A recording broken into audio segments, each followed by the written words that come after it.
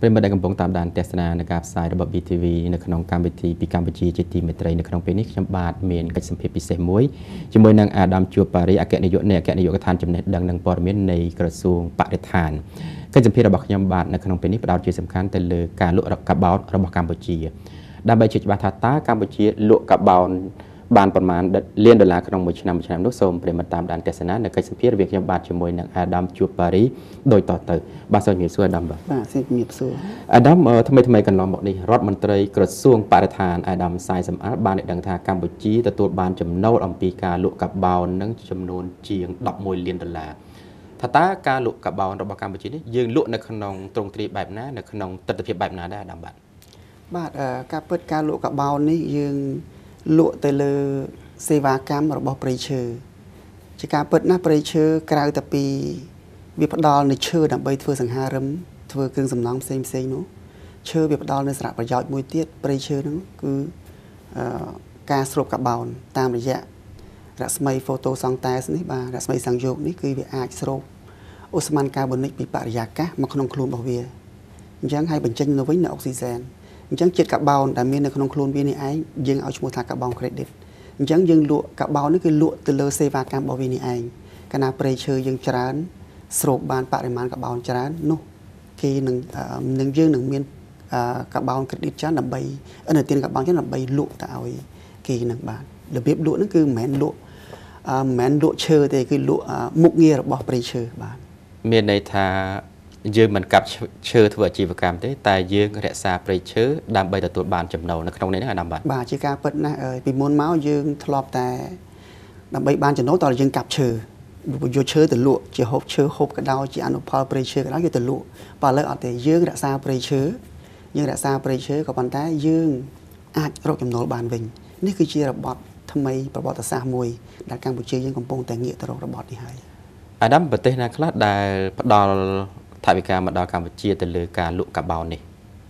ទិញទិញកាបោនគេទិញកាបោនបាទគេទិញពីយើងនេះអាដាមបាទអឺនៅក្នុងការទិញលក់កាបោននេះគឺជាទូទៅមានគេហៅថា2ពីរយន្តការយន្តការមួយឈ្មោះថាអឺ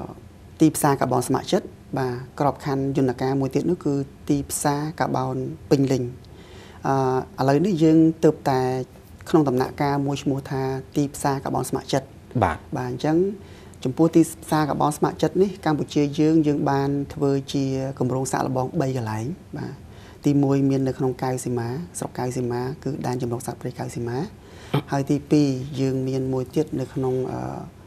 ដែនចម្រុះសត្វព្រៃព្រៃឡង់បាទបាទហើយនៅទី3គឺនៅឧទ្យានជាតិភ្នំក្រវាញខាងត្បូងនិងតាតៃបាទអញ្ចឹង3កន្លែងនេះគឺជាយើងឲ្យឈ្មោះថាជា តំបន់កម្រងរ៉េតបូកសាឡបងរបស់យើង ហើយកន្លងមកនេះគឺយើង បានធ្វើជោគជ័យហើយចាប់ពីឆ្នាំ2006 16រហូតមកដល់ឆ្នាំ2019នេះបាទដូចថាលោកដឹងបាននិយាយឲ្យមិញហ្នឹងថាយើងបានលក់កបោនបាន11.6លានហើយបាទហើយថវិកាដែលបានចំណូលពីថវិកាទាំងអស់នេះគឺយើងយកទៅអភិរក្សទាំងអស់បាទយើងយកទៅអភិរក្សការពារព្រៃឈើឡើងវិញការពារសត្វព្រៃឡើងវិញ និងពិសេសមួយទៀតនោះគឺលើកស្ទួយជីវភាពប្រជាសហគមន៍ដែលរស់នៅក្នុងតំបន់ព្រៃឈើទាំងអស់នោះបាទអាដាមគាត់បណ្ដាថាវិការដែលយើងទទួលបាន អំពីការលក់កាបូននេះប្រទេសណាខ្លះដែលទិញពីយើងអាដាមបាទបាទកន្លងមកនេះយើងមានទី1នោះគឺក្រុមហ៊ុន Disney បាទយើងស្គាល់ថាក្រុមហ៊ុន Disney គឺជាក្រុមហ៊ុនអន្តរជាតិមួយធ្វើកាត់ទូនធ្វើអីនេះបាទហើយថ្មីថ្មីនេះយើងមានក្រុមហ៊ុន Shell ជាក្រុមហ៊ុនព្រីអ៊ីនធឺណិតអន្តរជាតិនោះជាមួយនឹងក្រុមហ៊ុន Gucci ណាគេមកទិញរបស់យើងនេះបាទមិនបានក្រុមហ៊ុនទាំងអស់នោះស្ថិតនៅក្នុងបណ្ដាប្រទេសដែលកំពុងរីកចម្រើនមកផ្ដល់អនុទាននេះនៅកម្ពុជាទៅវិញបាទគេមើលឃើញថាទី1ពួកខាងគាត់នឹងជាអ្នកបញ្ចេញនៅកបោនហើយដើម្បីចូលរួមក្នុងវិស័យចូលរួមក្នុងការថែទាំបរិស្ថានពិភពលោកនេះអញ្ចឹងគេគេស្ម័គ្រចិត្តមកទិញរបស់យើងបាទក្នុងគេហៅថាក្របខ័ណ្ឌទីផ្សារកបោនស្ម័គ្រចិត្តនឹងទី1 ចិត្តចេតនារបស់គេហើយគេអត់បានអីទេគេបានតែ certificate គេបានតែស្អីមួយបង្ហាញថាគេនឹងឯងចូលរួមក្នុងសង្គមចូលរួមនៅក្នុងការការពារបរិស្ថានបាទទី1ក៏ប៉ុន្តែក៏គេមើលដែរថាគេមកទិញយើងគឺគេមើលឃើញថាយើងនឹងឯងជាអ្នកដែលការពារប្រៃឈើបានល្អដែរនៅក្នុងតំបន់ទាំង3ហ្នឹងបើសិនជាយើងការពារប្រៃឈើមិនបានល្អទេអាហ្នឹងគេក៏អត់ទិញរបស់យើងដែរដូច្នេះអឺកាលណាដែលយើងលក់កបោនបានទៅអន្តរជាតិផ្សារអន្តរជាតិបែបនេះ ជាសញ្ញាមួយបញ្ជាក់ថាព្រៃឈើរបស់យើងត្រូវបានការពារល្អបាទនៅក្នុងនៃហ្នឹងមានន័យថាកម្ពុជាបានព្រៃឈើរបស់កម្ពុជាគឺជាចំណែកមួយបានជួយទៅដល់បរិស្ថានពិភពលោកនៅក្នុងពេលបច្ចុប្បន្នហ្នឹងចា៎ណាបាទទីមួយយើងព្រៃឈើរបស់យើង ដែលយើងខំការពារក៏សូមថ្លែងអំណរគុណដែរចំពោះអាយដាមរដ្ឋមន្ត្រីសាយសំអាលដែលលោកបានខ្នះខ្នែងមែនតើបាទខិតខំធ្វើបាច់ការពារព្រៃឈើធនធានធម្មជាតិរបស់យើងនេះបាទ ហើយក៏សូមអរគុណទៅដល់ក្រសួងស្ថាប័នពាក់ព័ន្ធដែលគាត់ចូលរួមជាមួយយើងហើយក៏ដូចជាអាជ្ញាធរមូលដ្ឋានកងកម្លាំងប្រដាប់អាវុធទាំងអស់ពិសេសប្រជាសហគមន៍ដែលគាត់ចូលរួមជាមួយយើងបាទឥឡូវនេះយើងអាចនិយាយបានថាពួកគាត់យល់ដឹងពីបរិស្ថានច្រើនអញ្ចឹងមានការចូលរួមច្រើនប្រជាសហគមន៍ក៏ចូលរួមល្បាតបាទល្បាតព្រៃឈើការពារព្រៃឈើជាមួយយើងដែរនេះបង្ហាញឃើញថាយើងទាំងអស់គ្នានឹងយល់អំពី សារៈប្រយោជន៍នៃបរិស្ថានសារៈប្រយោជន៍នៃធនធានធម្មជាតិហើយចូលរួមទាំងអស់គ្នានេះគឺសញ្ញាមួយដែលខ្ញុំគិតថាវាជារឿងដែលល្អហើយហើយក៏សូមថ្លែងអំណរគុណមែនទែនដល់មានការចូលរួមបែបនេះទើបយើងសម្រេចបាននៅលទ្ធផលបែបនេះបាទអាដាមក្នុងនាមជាអ្នកបច្ចេកទេសផងជាអ្នកផ្សព្វផ្សាយផងប្រហែលជាបងប្អូនប្រជាពលរដ្ឋជាពិសេសសាធារណជនមួយចំនួនអាចនៅមិនទាន់យល់អំពីអត្ថប្រយោជន៍របស់ព្រៃឈើ សម្រាប់អាដាមជាអ្នកបច្ចេកទេសនៅក្រសួងស្បឋានជាអ្នកដែលកាន់ខាងការងារផ្សព្វផ្សាយនេះព្រៃឈើផ្ដល់អត្ថប្រយោជន៍វាខ្លះសម្រាប់មនុស្សជាតិទាំងមូលបាទព្រៃឈើផ្ដល់ប្រយោជន៍វាមានពីរយ៉ាងធំធំយ៉ាងទី1នោះគឺផ្ដល់នៅផលិតផលរបស់វា បាទឈើយើងអាចកាលណាឈើនឹងធំចាស់ល្មមទៅបើទុកក៏ខូចក៏វាងាប់នៅក្នុងព្រៃដែរអញ្ចឹងយើងអាចដកហូតវាយកមកប្រើប្រាស់ជាសង្ហារឹម ជាគ្រឿងសំណង់ផ្សេងផ្សេងនេះបាទយើងគឺដឹងស្រាប់ហើយទាំងអស់គ្នាការប្រើប្រាស់ការប្រើប្រាស់ជាផលិតផលបាទហើយវាផ្ដល់នៅទី2ទៀតគឺអនុផលអនុផលសំខាន់ណាស់បាទវិជាកសកសហគមន៍របស់យើងតែងតែពឹងផ្អែកទៅលើអនុផលនេះឯងមានផ្ដៅមានវល្លិមានថ្នាំសង្កូវបុរាណហើយនឹងផ្លែផ្លែឈើផ្លែអីនេះហើយទី3នោះគឺផ្ដល់នៅប្រភេទសត្វព្រៃបាទសត្វព្រៃនេះក៏ល្អមែនទែនហើយជាជំរកសត្វព្រៃជាជំរកសត្វព្រៃហើយហើយសត្វព្រៃនេះគឺជា អឺគេហៅថាសម្បត្តិធម្មជាតិរបស់យើងមួយល្អមែនទែនបាទដែលយើងអាចរក្សាទុកនេះគឺជាគ្រាន់តែជាគេហៅថាជាផលិតផលផលប្រយោជន៍របស់វាក៏ប៉ុន្តែមានផលប្រយោជន៍សំខាន់មួយទៀតជាងផលប្រយោជន៍នេះទៅទៀតគឺផលប្រយោជន៍ផ្នែកមុខងាររបស់វាដែលខ្ញុំលើកមិញគឺសេវាកម្មរបស់វាព្រៃឈើនេះគឺជានិយត្តកមួយដើម្បីគេហៅថាធ្វើឲ្យមានទឹកភ្លៀងទៀងទាត់ធ្វើឲ្យមានទឹកក្រោមដីព្រោះថាដើមឈើឬឈើអាចស្រូបទឹកភ្លៀង ជួយទៅទឹកក្រោមដីរក្សាបានទឹកក្រោមដីបាទទប់នៅការហូរច្រោះបើកាលណាយើងអត់មានព្រៃឈើទេភ្លៀងមកហូរច្រោះទៅយើងអស់ហើយបាទយើងអស់ដីជីជាតិសល់ថ្មសល់អីហើយប៉ុន្តែផ្ទុយទៅវិញគេហៅថាផ្លូវទឹកត្រូវបានរីងស្ងួតទៅវិញអញ្ចឹងឈើមានសំខាន់កន្លែងហ្នឹងបាទមុខងារមួយមុខងារទាំងអស់ហ្នឹងហើយជាការពិតណាព្រៃឈើនេះមលុបបើយើងដាំនៅតាមទីក្រុងនៅតាមទីសាលាវត្តអារាមនេះមលុបមែនតើព្រោះវាបញ្ចេញជាតិទឹកអញ្ចឹងធ្វើឲ្យយើងណា នៅក្រោមដើមឈើហ្នឹងមានមលុបដកដង្ហើមស្រួលតិចស្រួលអុកស៊ីហ្សែនអុកស៊ីហ្សែននិងទឹកបាទនិងចំហាយទឹកបាទហើយដែលសំខាន់មួយទៀតនេះគឺកាបោននេះឯងបាទដែលវាស្រូបកាបោនស្រូបកាបោនស្រូបកាបោននេះឥឡូវនេះយើងដឹងហើយថាដូចតែខ្ញុំបានលើកមិញតិចហ្នឹងថាដល់របត់មួយដែលយើងត្រូវការពារព្រៃឈើបានចំនួនវិព្រៃឈើដោយមិនបាច់កាប់ឈើបាទដោយមិនបាច់កាប់ឈើទេយើងគ្រាន់តែការពារព្រៃឈើទៅនោះស្រូបកាបោនបានគេនឹងផ្ដល់ឲ្យយើងអញ្ចឹងនេះសុទ្ធតែជាផលប្រយោជន៍ព្រៃឈើដែលយើង ដែលយើងអាចថាជាសម្បត្តិធម្មជាតិមហាសាលសម្រាប់ប្រទេសយើង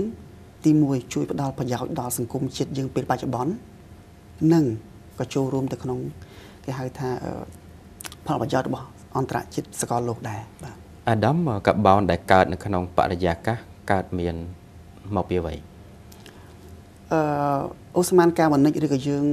ភាកច្រើនដែលយើងចេះថានាំគ្នាហៅថាអូស្មានតែកញ្ចក់នោះ ជាទូទៅវាវាកើតឡើងដោយសារថាខ្ញុំចង់ចង់ជម្រាបចេះវិញនៅលើភពផែនដីយើងនេះបើអត់មានអាអូស្មានកាបូនិកបើគ្មានអូស្មានផ្ទះកញ្ចក់នឹងទេក៏អត់បានដែរព្រោះអូស្មានផ្ទះកញ្ចក់នេះអូស្មានកាបូនិកនេះជាអ្នកចាប់កម្ដៅអញ្ចឹងក្នុងលើផែនជុំវិញផែនដីយើងបើកណាគ្មានសោះតិចយើងយុគសម័យតកឃើញដោយសារតែខ្វះខ្វះនៅអូស្មានកាបូនិកនេះឯងដែលយើងតិចខ្លាំង បាទក៏ប៉ុន្តែបើសិនជាអូស្មានកាបូនិកបរិមាណវាច្រើនពេកវាធ្វើឲ្យយើងក្តៅបាទពួកវាជាអ្នកចាប់កម្ដៅបាទអញ្ចឹងធ្វើឲ្យយើងក្តៅអញ្ចឹងក៏យើងរស់នៅវាអត់កើតដែរដូច្នេះយើងចង់បានថាអ្នកវិទ្យាសាស្ត្រទាំងអស់គេថាគេចង់បាននៅចំនួនអឺបរិមាណអូស្មန်ផ្ទះកញ្ចក់នេះល្មមល្មមដើម្បីធ្វើម៉េចឲ្យយើងកុំឲ្យវាក្តៅពេកកុំឲ្យវាត្រជាក់ពេកឲ្យយើងអាចរស់បានអញ្ចឹងណាបាទ ក៏ប៉ុន្តែមកទល់ពេលនេះក្នុងបរិបទ climate change ប្រែប្រួលអាកាសធាតុនេះគឺលើសហើយបាទយើងលើសហើយបរិមាណហ្នឹងអាលើសហ្នឹងគឺដោយសារអីដោយសារថាក្រោយពីឧស្សាហកម្មបដិវត្តឧស្សាហកម្មពីឆ្នាំ1945មកគឺប្រទេសយើងប្រទេសទៅឧស្សាហកម្មហើយឧស្សាហកម្មគឺប្រើខ្ជុំថ្មប្រើ fossil ប្រេងឥន្ធនៈអាទាំងអស់ហ្នឹងឯងបាទដែលបច្ចេកអូស្មန်បាទដែលបច្ចេកអូស្មန်តែកញ្ចក់នេះអញ្ចឹងប្រទេសអ្នកមាននឹងអ្នកសេដ្ឋកិច្ច ខ្ពស់ខ្ពស់ហ្នឹងគឺពួកគាត់ជាអ្នកភាគច្រើនជាអ្នកបច្ចេកយើងកម្ពុជាយើងជាអ្នករងគ្រោះទេនិយាយមែនតើយើងបច្ចេកតិចណាស់បាទយើងបច្ចេកតិចមែនតើពួកយើងអត់មានឧស្សាហកម្មធំទេអញ្ចឹងយើងជាអ្នករងគ្រោះអញ្ចឹងហើយបានជាតែងតែនៅវេទិកាសន្និសិទកម្ពុជាស្ដីពីការប្រែប្រួលអាកាសធាតុនេះយើងតែងតែចរចាគ្នាទៅចែកគ្នាថាតើប្រទេសអភិវឌ្ឍត្រូវមានកាតព្វកិច្ចខ្លះដើម្បីកាត់បន្ថយការបំភាយឧស្ម័នផ្ទះកញ្ចក់នេះ ហើយមានកាតព្វកិច្ចស្អីខ្លះដែលត្រូវផ្ដល់នៅថាវិការជួយមកប្រទេសកំពុងអភិវឌ្ឍនិងកោះតូចតូចដើម្បីឲ្យគាត់នឹងឯងមានសមត្ថភាពបន្ស៊ាំទៅនឹងការប្រែប្រួលអាកាសធាតុនេះបាទព្រោះថាការប្រែប្រួលអាកាសធាតុនេះគឺបណ្ដាលមកពីការកើនឡើងកម្ដៅលើភពផែនដីហើយការកើនឡើងកម្ដៅលើភពផែនដីគឺបណ្ដាលមកពីបរិមាណអូស្មန်តែកញ្ចក់នៅលើជុំវិញបរិយានៅជុំវិញផែនដីយើងនេះកើនឡើងបាទជាសរុបរួមមកកាបូនដែល ប្រជាកម្ពុជាកំពុងស្រូបគឺកើតមានមកពីផ្សាយនៅចេញពីឧស្សាហកម្មធំធំនៅបណ្ដាប្រទេសជាច្រើន76%គឺមកពីនោះពីឧស្សាហកម្មធំធំ ពីកប៉ាល់ហោះពីកប៉ាល់ទឹក ពីរថយន្តពីអីហ្នឹងបាទទាំងអស់ហ្នឹងបាទអាដាមហើយកម្ពុជារងគ្រោះដោយសារការប៉ះពាល់នៃបរិស្ថានហើយនៅខ្លាយជាប្រទេសដែលជួយទៅដល់បរិស្ថានរបស់ពិភពលោកតាមរយៈការលក់អនុទានកាបូននៅថែមទៀតអញ្ចឹងអាដាមបាទបាទយើង យើងជាទូទៅ គឺយើងក៏ជាសមាជិកមួយដែរយើងណាបាទទាំងអស់វាមាន197ប្រទេសជាសមាជិកក្នុងពិភពលោកហ្នឹងក្នុងក្រោមអនុសញ្ញាក្របខ័ណ្ឌសហជីវជាតិស្តីពីការប្រែប្រួលអាកាសធាតុនេះគឺយើងត្រូវតែមានកាតព្វកិច្ចទាំងអស់គ្នាដើម្បីធ្វើម៉េចចូលរួមជួយពិតតែថាយើងមិនយើងមិនមែនជាអ្នកបញ្ចេញអូស្មန်តែកញ្ចក់ច្រើនទេក៏ប៉ុន្តែយើងក៏មានគេហៅថា commitment មានការតាំងចិត្តបដិញ្ញាចិត្តមួយបាទចូលរួម ចូលរួមកាត់បន្ថយដែរពួកអីវិធានការក្នុងការប្រែប្រួលអាកាសធាតុនេះគេមានវិធានការធំធំពីរបាទវិធានការទី1គឺការបន្ស៊ាំពួកប្រទេសយើងប្រទេសកំពុងអភិវឌ្ឍប្រទេសដែលយើងមានដើរពឹងផ្អែកច្រើនដែរទៅលើកសិកម្មនេះយើងត្រូវបន្ស៊ាំព្រោះថាបន្ស៊ាំធ្វើម៉េចនៅពេលដែលខ្យល់ព្យុះមកយើងត្រូវរៀបចំខ្លួនមិនដើម្បីទប់ទល់ខ្យល់ព្យុះហ្នឹងហើយខ្យល់ព្យុះមកបំផ្លាញហើយយើងត្រូវធ្វើម៉េចស្ដារឡើងវិញឲ្យបានលះបាទបាទហើយ ទឹកចំនួនដូចគ្នារាំងសួរដូចគ្នាយើងត្រូវធ្វើម៉េចបន្ស៊ាំទៅនឹងការងារប្រែប្រួលអាកាសធាតុទាំងអស់ហ្នឹងហើយទី2យើងចូលរួមជួយកាត់បន្ថយតាមរយៈការរក្សាទុកនៅព្រៃឈើយើងនេះឯងកាលណាយើងរក្សាព្រៃឈើបានល្អយើងស្រូបកាបូនបានច្រើននឹងជួយកាត់បន្ថយអ្នកដែលប្រទេសដែលអភិវឌ្ឍដែលគាត់កំពុងតែបញ្ចេញ បាទអរគុណច្រើនអាដាមខ្ញុំបាទនឹងមានសំណួរជាច្រើនទៀតដែលត្រូវជម្រាបសួរអាដាមនៅក្នុងវគ្គទី2នៅគណៈនេះសម្រាប់វគ្គទី1យាយខ្ញុំសូមសម្រាប់បន្តិចសិន ប្រិមត្តកំពុងតែតាមដានទស្សនានៃការផ្សាយរបស់ BTV ជាទីមេត្រីនៅក្នុងពេលនេះខ្ញុំបាទមានកិច្ចសម្ភារបន្តពាក់ព័ន្ធទៅនឹងការលូកកបោនរបស់កម្ពុជាជាមួយនឹងអាដាមជួបបារីអគ្គនាយកនៃអគ្គនាយកដ្ឋានចំណេះដឹងនិងព័ត៌មាននៃក្រសួងបរិស្ថាននៅក្នុងវគ្គទី2នេះយើងបដោតនៅតែបដោតជាសំខាន់ទៅលើសំណួរសំខាន់សំខាន់ជាច្រើនទៀតពាក់ព័ន្ធទៅនឹងការលូកកបោនរបស់កម្ពុជាអាដាមនៅក្នុងរយៈពេល3ឆ្នាំពីឆ្នាំ2016មកទល់នឹងឆ្នាំ2019ដែលកម្ពុជាលូកកបោនបាន ជាង11លានដុល្លារនេះអឺថាតើប្រៃឈើរបស់កម្ពុជានេះគេកណនាមិនជាទិញលក់យ៉ាងម៉េចដែលគេអាចផ្ដល់នៅថវិកាចំនួនប៉ុណ្ណឹងបាននៅក្នុងរយៈពេល3ឆ្នាំនេះដល់បាទនៅក្នុងក្របខ័ណ្ឌគម្រោងទាំង3នេះគឺយើងគម្រោងមួយមួយលោកមានវិធីសាស្ត្រដើម្បីកណនាបាទកណនាកាបូនដូចថានៅកៅសីមាអញ្ចឹងអឺមានផ្ទៃដី290,000ហិកតា អញ្ចឹងទៅគេកណនាទៅតាមអ្នកបច្ចេកទេសគេកណនាគេឃើញថាក្នុងមួយឆ្នាំព្រៃ29ហិកតាហ្នឹង29ម៉ឺន29ម៉ឺនហិកតានេះអាចស្រូបកាបូនបានប្រហាក់ប្រហែល2លានតោនក្នុងមួយឆ្នាំហ្នឹងគេកណនាអញ្ចឹងឃើញបាទគេមានវិធីសាស្ត្រគេគេកណនាហ្នឹងបច្ចេកទេសណាហើយសម្រាប់នៅភ្នំកវាញខាងត្បូងជាមួយនឹងតាតៃ ដែលមានផ្ទៃដីប្រហែលជា550000ហិកតានេះបាទគេកណនាទៅឃើញថាមានកាបូនប្រហែលជា4លានតោនក្នុងមួយឆ្នាំណាអញ្ចឹងយើងលក់អត់តន់អស់ទេក៏ពិតណាយើងនៅមានសល់កាបូនច្រើនណាស់បាទក្នុងដែលយើងបាន11អឺដែលយើងបានថវិកាកន្លងមកគឺយើងនៅសល់កាបូនច្រើនទៀតបាទយើងគិតមើលទៅបានមួយឆ្នាំហើយគេចាប់ផ្ដើមគិតជាទូទៅដោយកៅសីម៉ាហ្នឹងគាត់ចាប់ផ្ដើមអឺអឺ រាប់តាំងពីឆ្នាំ2011រហូតមកបាទអញ្ចឹងយើងនៅសល់ក្នុងស្តុកយើងណាបាទក្នុងស្តុកយើងច្រើនទៀតក៏បោបាទយើងគិតមួយឆ្នាំពីពីអឺ2លាន2លានមកយើងនៅសល់ច្រើនណាបាទដូចជាកៅសីម៉ាយើងនៅសល់ជាង10លានតោនទៀតបាទដូចគ្នាដែរជាមួយនឹងខាងអឺក្រវ៉ាញខាងត្បូងនេះពិតតែកម្រងនេះរៀងក្រោយបន្តិចក៏ប៉ុន្តែយើងក៏នៅសល់ក្នុងស្តុកច្រើនដែរបាទអញ្ចឹងទៅយើងកំពុងតែដាក់តាំងលក់នៅទីផ្សារដែរបាទហើយយើងយើងបានសហការដូចនៅកៅសីម៉ានេះ យើងសហការជាមួយនឹងអង្គការ WCS បើជាអ្នកគេហៅថាជាដៃគូបច្ចេកទេសរបស់យើងជាអ្នកជួយកណនីឲ្យយើងបាទហើយជាអ្នកអឺរកទីផ្សារឲ្យយើង នៅអន្តរជាតិហើយសម្រាប់នៅអឺភ្នំក្រវាញយើងមានអឺក្រុមហ៊ុន WA Wildlife Alliance ជាអ្នកផ្ដល់បច្ចេកទេសក្នុងការកណនានិងជាអ្នករកទីផ្សារឲ្យយើងហើយនៅព្រៃឡង់ព្រៃឡង់ក៏អញ្ចឹងដែរព្រៃឡង់យើងមានខាងអឺអង្គការ CI បាទ Conservation National ហ្នឹងជាអ្នកអឺ បច្ចេកទេសនឹងផ្ដល់ដែរក៏ប៉ុន្តែគ្រាន់ថានៅព្រៃឡង់នេះយើងអត់ទាន់បានលក់នៅឡើយទេយើងកំពុងតែអឺសិក្សារៀបចំគម្រោងនេះបាទបាទអាដាមជាអ្នកបច្ចេកទេសអឺនៅក្នុងការងារវិទ្យាសាស្ត្រអឺព្រៃឈើរបស់កម្ពុជានៅទាំង3តំបន់ដែលកម្ពុជាបានលក់រួចមកហើយកាបោនអឺសម្រាប់បរិស្ថានហ្នឹងទាំងនៅអឺក្រវ៉ាញខាងត្បូងនៅកៅសីមាហើយនិងនៅតាតៃហ្នឹង ប្រៀបជាមួយនឹងប្រទេសផ្សេងផ្សេងៗទៀតដែលគេលក់កាបោនមុនយើងថាតើព្រៃឈើរបស់យើងស្រូបកាបោនហ្នឹងបានល្អជាងគេឬមួយស្ថិតនៅក្នុងកម្រិតណាអាដាមបាទបាទអើយការពិតការស្រុកកបងវាអាស្រ័យទៅលើប្រភេទព្រៃឈើដែរតាមតំបន់ផ្សេងផ្សេងៗដែរយើងបាទបាទយើងអឺអត់អាចប្រៀបធៀបជាមួយគេបានទេគ្រាន់តែថាយើងអាចនិយាយបានថាអឺកបោនរបស់យើងដែលយើងផ្ទៃព្រៃឈើដែលយើងអឺមាននេះ គឺកបោនដែលយើងស្រូបបាននេះគេហៅគេឲ្យចំណាត់ថ្នាក់ goal បាទមាសមាសបាទគេ goal carbon ណាបាទចង់និយាយថាគុណភាពគុណភាពឈើបាទយើងដោយសូសារវបានថាល្អបាទដោយសារថាគេឲ្យគុណភាពទៅចេះទេទៅលើរឿងថា ទីមួយព្រៃយើងនេះឯងគេហៅថាជីវៈចម្រុះច្រើនបាទវាមានព្រៃឈើច្រើនប្រភេទមានសត្វព្រៃហើយក្នុងនោះមានអឺគេហៅថាចលងដងភ្នំអូទឹកទាំងអស់ហ្នឹងអញ្ចឹងព្រៃនេះឯងគឺជាព្រៃដែលល្អណាស់សម្បូរដោយជីវៈចម្រុះច្រើនបាទបាទអញ្ចឹងទៅ អញ្ចឹងទៅបានជាគេថាបើការពារព្រៃយើងអញ្ចឹងបានល្អច្រើនអាហ្នឹងជាការប្រសើរបាទអញ្ចឹងឲ្យបានជាកបោនដែលយើងបានផលិតហ្នឹងគេឲ្យគេឲ្យគុណភាពដល់ថ្នាក់អឺជាគុណភាពមាសបាទបាទ gold gold quality បាទល្អមែនតើបាបាទទល្អអាដាមអឺសម្រាប់គម្រោងបន្តកម្ពុជាគ្រោងនឹងដាក់តំបន់ណាផ្សេងទៀតពាក់ព័ន្ធទៅនឹងការលក់កាបោននេះបាទអើយឥឡូវនេះយើងមាន តាមពិតទៅអឺតាតៃជាមួយនឹងកវាញកាកវាញត្បូងហ្នឹងគឺជាមួយតែមួយទេតំបន់តែមួយតំបន់តែមួយជាប់គ្នាទេកន្លែងហ្នឹងគឺមកកម្រងទេបាទដែលយើងដែលយើងហៅកាត់ថាកម្រងរ៉េតបូកភ្នំកវាញបាទបានន័យថាកវាញត្បូងជាមួយតាតៃជាមួយគ្នាហើយ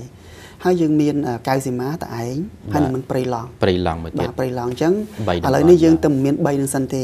ដោយសារថាយើងអឺជាជាជាកម្រងសាក់លបងបាទហើយយើងប្រហែលជាមិនពង្រីកទៀតទេអឺក៏ប៉ុន្តែយើង ធ្វើជាហៅថាជាຂະណាត់ជាតិមួយទៀតបាទនេះ3គម្រោងនេះឯងគឺហៅថាជាគម្រោងដែលសាកល្បងហើយយើងដាក់តាំងលក់នៅទីផ្សារកាបូនស្ម័គ្រចិត្តបាទក៏ប៉ុន្តែមិនប៉ុណ្ណឹងទេយើងឈានមកជំហានទៀតថ្ងៃក្រោយទៀតគឺទូទាំងប្រទេសហើយទូទាំងប្រទេសនេះគេហៅ Red Book គេ National Red Plus ណា Red Red Book ជាតិនេះគឺយើងធ្វើទូទាំងប្រទេសដែលមានព្រៃឈើយើងទាំងអស់8លានជាងហិកតានេះបាទធ្វើទាំងអស់ ក្នុងនេះបើសិនជាយើងបូកទៅតែ1លានជាងហិកតាទេ pilot យើងនេះណាបាទបីគម្រោងនេះបូកទៅតែ1លាន2សែនហិកតាទេក៏ប៉ុន្តែឃើញទេនៅសល់ច្រើនទៀតអញ្ចឹងយើងកំពុងតែកសាងគេហៅថាអឺប្រព័ន្ធគេហៅថា nesting system មួយប្រព័ន្ធបញ្ចូលគ្នាទាំងអស់មួយ ទាំងអឺទាំងកម្រងសាកល្បង3នឹងឯងទាំងជាតិជាមួយគ្នាទាំងហ្មងបាទបាទអញ្ចឹងទៅអឺ យើងឥឡូវនេះដោយសារថាកម្រងថ្នាក់ជាតិនឹងឯងត្រូវការពេលវេលាច្រើនហើយមានដំណាក់កាលវាច្រើនអញ្ចឹងទៅយើងនឹងយើងនឹងគិតថាយើងនឹងអឺថ្ងៃក្រោយទៅយើងបញ្ចូលទៅជាតិទាំងអស់បាទបាទយើង pilot ទាំងអស់អីហ្នឹងនៅនៅក្នុងទាំងអស់ហើយអឺសម្រាប់ថ្នាក់ជាតិនេះសម្រាប់គម្រោងគេហៅថា Red Book កម្មវិធី Red Book ជាតិនេះយើងឥឡូវនេះយើងបានគេហៅថាវាមានដំណាក់កាលវាដំណាក់កាល readiness ដំណាក់កាលត្រៀមលក្ខណៈយើងបានចប់ហើយបាទមានន័យថា តម្រូវការនៃអឺផ្នែកត្រៀមលក្ខណៈនេះវាមាន3វាមាន3អើវាមាន4អឺ element ដែលយើងត្រូវបំពេញទី1យុទ្ធសាស្ត្រ red book យើងមានហើយបាទទី2អឺប្រព័ន្ធតាមដាន pressure ក៏យើងមានហើយអឺគេហៅថាមួយទៀតកម្រិតអឺកម្រិតយោង pressure ក៏យើងធ្វើហើយហើយអឺអាទីបញ្ចប់នេះគឺអឺចុងក្រោយនេះគឺគេហៅថាប្រព័ន្ធសុវត្ថិភាពអានេះក៏យើងមានអស់ហើយបាទជំនាញថា4 element នេះយើងមានអស់ហើយបាទ អញ្ចឹងយើងកំពុងតែត្រៀមត្រៀមចូលទៅគេហៅថាអនុវត្តនៅកម្មវិធីគេហៅថា result based payment ឬក៏យើងឲ្យឈ្មោះថាអឺ result based payment មានន័យថាការទូទាត់ឲ្យតាមលទ្ធផលអញ្ចឹងបើប្រេជាតិប្រេឈើជាតិយើងទាំងមូលនេះយើងស្រូបបានច្រើនយើងស្រូបបានកបោនច្រើនគេនឹង pay ឲ្យយើងច្រើន pay pay ពីហ្នឹងពីអឺគេហៅថាអនុសញ្ញាក្របខ័ណ្ឌសហជីវជាតិស្តីពីការប្រែប្រួលអាកាសធាតុនេះបាទបាទ អាដាមមកថវិកាដែលយើងបានពីខាងដើមអាដាមបានមានប្រសាសន៍ត្រួសត្រាសជាលំអិតតែម្ដងយើងយកទៅប្រើនៅលើអ្វីខ្លះពីការលក់កបោនេះបាទជាទូទៅយើងប្រើទៅលើអភិរក្សវិញទាំងអស់បាទយើងដូចខ្ញុំលើកបានលើកអញ្ចឹងយើងបានថាវិការនឹងហើយយើងយកទៅប្រើដើម្បីគេហៅថា law enforcement ការការពារប្រៃឈើយើងនៅតំបន់តំបន់យើងហ្នឹងបាទហើយទី1ទី2ការពារសត្វព្រៃបាទសំខាន់ណាស់ព្រោះសត្វព្រៃយើងវាជាសម្បត្តិដ៏កម្រមួយហើយសត្វខ្លះហ្នឹងគឺ ហើយទី3នោះគឺយើងយកទៅជួយសហគមន៍បាទធ្វើម៉េចកសាងជួយជីវភាពសហគមន៍ជីវភាពសហគមន៍នេះយើងជួយតែអឺអាដាមរដ្ឋមន្ត្រីសាយសម្អាតលោកតែងតែណែនាំថា ទីមួយជីវភាពគាត់ធ្វើម៉េចឲ្យគាត់មានជីវភាពតាមរយៈការចិញ្ចឹមសត្វតាមរយៈការដាំដំណាំកសិកម្មហូបខ្លួនឯងហើយសំខាន់មួយទៀតនោះគឺតាមរយៈអឺការអេកូទេសចរនេះឯងពួកដូចនៅកៅសីមាអញ្ចឹងអឺនៅពេលដែលយើងអឺ បានជួយគាត់ទៅគាត់គាត់នឹងនាំភ្ញៀវចូលទៅមើលសត្វគាត់បានគាត់បានលុយបាទចង់និយាយចឹងបាទហើយគាត់មានធ្វើ home stay របស់គាត់ធ្វើផ្ទះសំណាក់របស់គាត់នៅក្នុងព្រៃហ្នឹងអញ្ចឹងទេសចរទៅអាចទៅសំណាក់នៅក្នុងព្រៃហ្នឹងអ่าក្នុងអ่าក្នុងកន្លែងដូចថាផ្ទះសំណាក់ក្នុងព្រៃហ្នឹងបានហើយគាត់បានចំណូលថវិកាគាត់ទៀតនេះគឺជារបៀបមួយដែលថាយើងលើកលើកសួរជីវភាពគាត់ទឹកស្អាតទឹកអីបាទសំខាន់ណាស់ពួកអីគាត់ចង់ឲ្យខាងសហគមន៍យើងមានគេហៅថាសុខភាពល្អដែរ ពួកអីសំខាន់ណាស់សុខភាពកណាសុខភាពអត់ល្អទេអីក៏មិនចាញ់ដែរបាទអញ្ចឹងទឹកស្អាតគាត់គិតមែនតើអញ្ចឹងនៅក្នុងកៅសីមានេះគឺមានប្រព័ន្ធទឹកប្រព័ន្ធអីណាបាទដែលយើងនេះហើយនឹងផ្នែកជីវភាព ទី2ទី3នោះគឺវិជ្ជាជីវៈបដិបដាគឺថាយើងចង់ឲ្យថាអ្នកសហគមន៍ដែលនៅក្នុងវិជាសហគមន៍យើងនៅក្នុងព្រៃនេះគាត់មានចំណេះដឹងផ្នែកវិជ្ជាជីវៈដើម្បីអាចគាត់អាចចេញមករកការងារល្អចិញ្ចឹមល្អជីវិតមកធ្វើថែការមទៀត ខាងក្រៅបានបាទបាទកុំឲ្យគាត់ពឹងផ្អែកទៅលើការកាប់ព្រៃច្រើនពេកបាទហើយទី3នោះគឺអប់រំនេះឯងចង់ឲ្យកូនចៅពួកវិទ្យាសហគមន៍ទាំងអស់ហ្នឹងឯងគាត់រៀនបានខ្ពស់រៀនចប់ថ្នាក់ទី12រៀនទៅដល់មហាវិទ្យាល័យដើម្បីថ្ងៃក្រោយទៅគាត់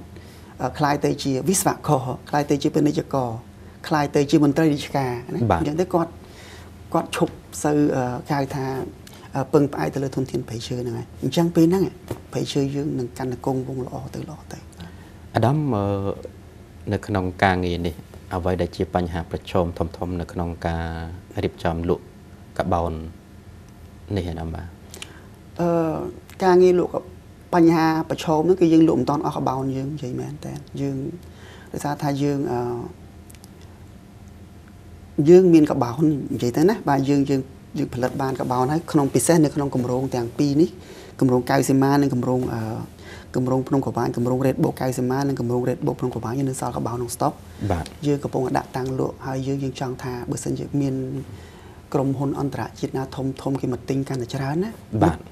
យើងកាន់យើងកាន់តែបានចំណូលកាន់តែច្រើនដើម្បីយកមកបំរើឲ្យការអភិរក្សជីវៈចម្រុះបំរើឲ្យការការពារបរិស្ថានយើងនេះឯងពិសេសគឺបំរើឲ្យសង្គមទៅដល់ប្រជាសហគមន៍នេះឯងយើងចង់ថាយើងកំពុងតែតាំងលក់យើងទៅប្រកបប្រកបប្រកាសលក់ថែមទៀតហើយ ថ្មីថ្មីដែរយើងមានយើងមានដៃគូយើងមួយទៀតហើយគាត់នឹងជួយនឹងជួយគេហៅថារកទីផ្សារយើងថែមទៀតបាទប្រការសំខាន់គឺយើងតំណែងរកទីផ្សារនេះឯងជា ជាបញ្ហាប្រឈមរបស់យើងបាទយើងធ្វើយ៉ាងម៉េចដើម្បីឲ្យការលក់កបោននេះមាននិរន្តរភាពឥតដាច់កំឲ្យម្ដងមានម្ដងអត់អាដាមបាទសំណួរនេះជាសំណួរដែលយើងកំពុងតែគិតឲ្យថាដើម្បីវាមានការថាយើងកំពុងតែនេះគេហៅថាថ្នាក់ជាតិកម្មវិធីរបបថ្នាក់ជាតិឯងគឺទៅដល់នោះ បាទនឹងមើលឃើញទៅដល់គេហៅថា sustainable finance mechanism នេះឯងបាទយន្តការ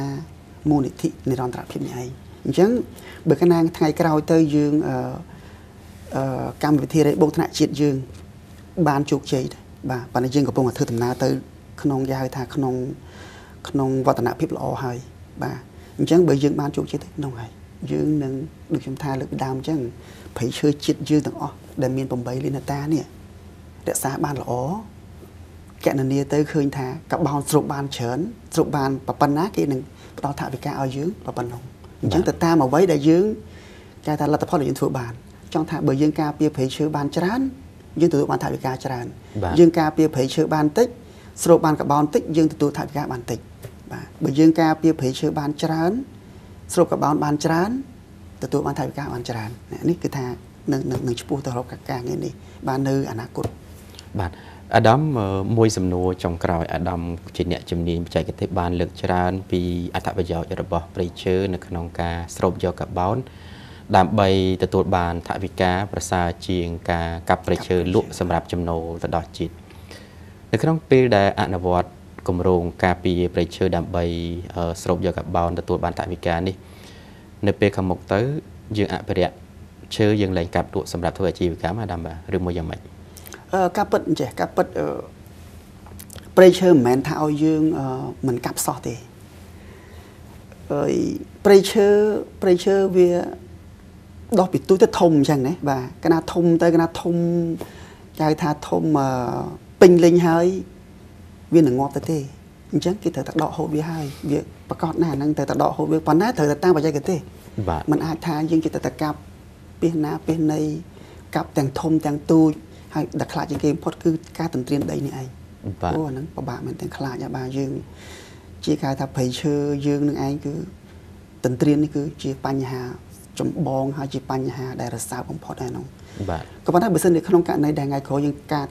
ការពារព្រៃឈើយើងបានច្រើនបើបានល្អទៅនៅពេលដែលឈើធំធំទៅយើងអាចដកហូតតាមបច្ចេកទេសយើងមកប្រើប្រាស់អានឹងអត់អីទេបាទអត់អត់អត់អត់ខាតបងអីទេល្អទៅវិញទេព្រោះកាលណាយើងយកអាឈើធំហ្នឹង ចេញមកទៅអាទូចទូចវានឹងនឹងដកបន្តទៀតបាទអញ្ចឹងអត់អីទេវានៅតែមានគេហៅថាគេហៅថាយើងហៅថា sustainable frame management បាទការគ្រប់គ្រងព្រៃឈើប្រកបដោយនិរន្តរភាពអញ្ចឹងអត់អីទេអានោះហើយតែយើងជិះតែកាប់ពីវាពីការទន្ទ្រានដីទីអានោះបានពិបាកបានយើងត្រូវបាត់ជាការដែលយើងបាត់បង់ព្រៃឈើដែលយើងគួរឲ្យសោកស្ដាយបាទក្នុងនាមជាអ្នកជំនាញនិងជាអ្នកបច្ចេកទេសនៅក្នុងការងារនេះអាដាមមានជាអនុសាសន៍ឬមួយជាសារអ្វីបន្ថែមទេទៅដល់សាធារណជន បាទខ្ញុំគ្រាន់តែទីមួយខ្ញុំអរគុណបាទសូមថ្លែងអំណរគុណដល់ថ្នាក់ដឹកនាំក្រសួងបរិស្ថានពិសេសដំរដ្ឋមន្ត្រីសាយសម្អាលលោកយកយុទ្ធមែនតែនពីរឿងបញ្ហាការពារធនធានធម្មជាតិនេះក្រោមការដឹកនាំរបស់គាត់យើងយើងរឹងមាំបាទយើងមានកម្លាំងយើងយើងមានក្នុងមួយថ្ងៃរឹងមាំមួយដើម្បីដើរទៅមុខណាបើមិនអញ្ចឹងយើងដើរទៅស្ទាក់ស្ទើរគាត់ដោយសារគាត់ leadership ភាពដឹកនាំរបស់គាត់មើងម៉ាត់ហើយលះលហួនអញ្ចឹងយើង ធ្វើដំណើរបេសកកម្មយើងដើរអត់អត់អត់ខ្លាចអត់រួចរាទេបាទនឹងទី1ហើយទី2សូមអរគុណដល់ក្រសួងស្ថាប័នពាក់ព័ន្ធបាទមានក្រសួងកសិកម្មអឺដែលមានរដ្ឋបាលព្រៃឈើនិងរដ្ឋបាលជលផលដែលមានពាក់ព័ន្ធនឹងព្រៃឈើគាត់ជួលសកម្មមែនតើពិសេសនៅក្នុងការក្រុមការងារ Red Book ហ្នឹងគឺមានទាំងអស់បាទមានទាំងសមាជិកក្រុមការងារច្រើនហ្នឹងគឺយើងបានរួមគ្នាធ្វើការចាប់ដៃនេះល្អណាស់កន្លងមកចឹងក៏សូមថ្លែងអំណរគុណដល់ពួកគាត់ហើយក៏ ពិសេសមួយទៀតនោះគឺកងប្រដាប់អាវុធបាទមាន PM មានទាហានយើងមានប៉ូលីសយើងនេះជួយការពារព្រៃឈើមែនតើយើងបានពួកគាត់ទេបាទពួកអីយើងពួកយើងយើងអត់មានកងអាវុធអញ្ចឹងពួកគាត់គាត់ជួយមកយើងរឹងមាំណាបាទបាទហើយមួយទៀតនេះគឺអាញាធមមូលដ្ឋាននេះឯងបាទគាត់ចូលរួមជាមួយយើងអញ្ចឹងអរគុណពួកគាត់ហើយពជាសហគមន៍យើងក៏អញ្ចឹងដែរបាទគាត់គាត់មានការយល់ដឹងច្រើនឥឡូវនេះដោយសារថាដូចនៅកាយសមាអញ្ចឹងសហគមន៍មួយចំនួនគាត់យល់ដឹងអញ្ចឹងទៅគាត់ ចូលរួមជាមួយយើងបងពួកគាត់យើងបានប្រគល់ប្រតថវិកាជូនគាត់ណាពីកម្មវិធី Red Book មួយឆ្នាំមួយឆ្នាំមួយភូមិ10000ជាងដុល្លារច្រើនបាទបាទឲ្យគាត់យកទៅ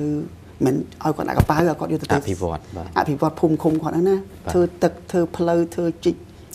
ដងធ្វើកន្លែងស្នាក់នៅឲ្យភ្ញៀវបាទអញ្ចឹងគាត់បានចំនួនអញ្ចឹងគាត់ដល់វាគាត់ឃើញគាត់យល់ណាអញ្ចឹងក៏សូមអរគុណគាត់ ហើយខ្ញុំក៏សូមបាទអំពាវនាវដល់ទៅសហគមន៍ផ្សេងផ្សេងទៀតអ្នកពាក់ព័ន្ធផ្សេងទៀតក្រៅទៅពីតំបន់អស់ហ្នឹងមេតាមើលមកតំបន់នេះ បាទមើលមកនេះជា